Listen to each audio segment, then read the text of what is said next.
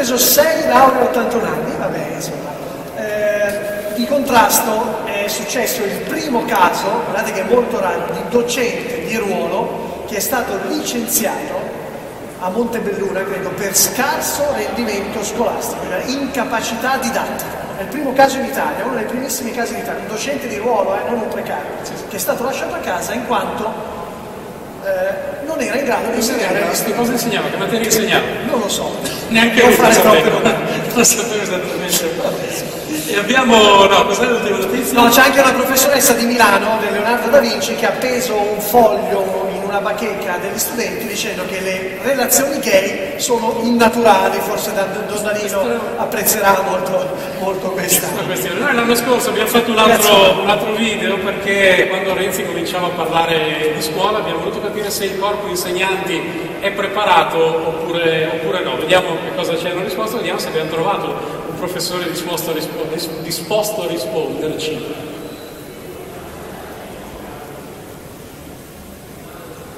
Una delle priorità del nuovo governo Renzi, come ha dichiarato lo stesso Presidente del Consiglio, è la messa in sicurezza delle scuole italiane e la rivalutazione, la riqualificazione del corpo insegnanti. Noi siamo proprio qui, davanti a una scuola omnicomprensiva, l'istituto omnicomprensivo di Milano, che appunto ha dei lavori in corso per parlare con qualche insegnante che speriamo di incontrare, ma prima vogliamo capire dagli italiani se hanno fiducia nella preparazione degli insegnanti oppure no. A suo parere gli insegnanti italiani sono preparati?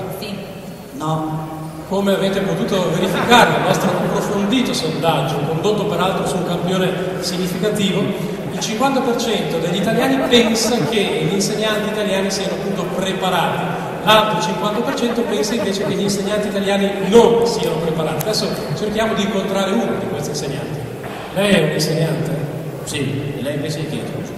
Eh, Stiamo facendo un'inchiesta per conoscere la vita e il lavoro degli insegnanti delle scuole pubbliche. Posso fare qualche domanda? Se non spazzaria troppo tempo perché sa, o non la buca e non vorrei perdere troppo tempo con lei, insomma. Quindi, va bene, faccio domanda. Deve correggere i compiti in classe?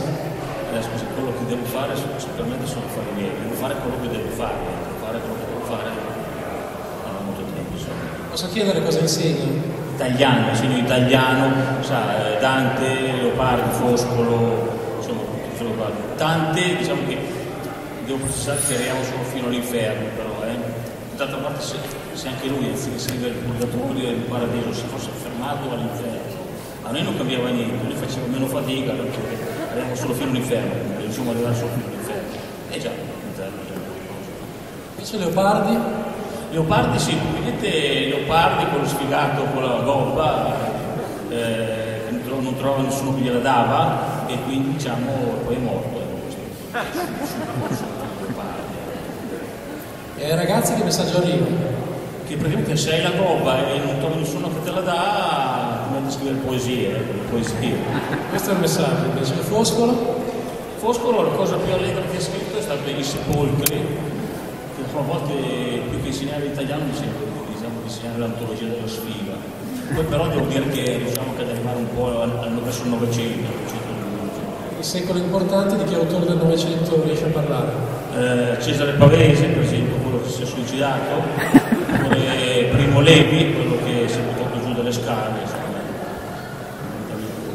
Gli studenti? Gli studenti beh, una mano si grattano e quell'altra invece giocano col telefonino. Lei? E io cosa devo fare? Io non posso fare niente perché se gli do un brutto voto vanno a casa e vengono i genitori a lamentarsi. Se li sgrido vanno a casa e vengono i genitori a lamentarsi, cioè, avrei anche pensato di aspettarli fuori alla fine delle lezioni e dargli una fraccata di legnate, ma poi poi che si ribelli, quindi no, va avanti avanti così. Posso chiedere se è soddisfatto del suo stipendio? Beh, diciamo me- mediamente soddisfatto. Con quello che guadagno riesco a fare la spesa una volta alla settimana, eh, poi vado al cinema una volta ogni 15 giorni e una volta al mese vado a puttana. puttana sì. Professore che ha avuto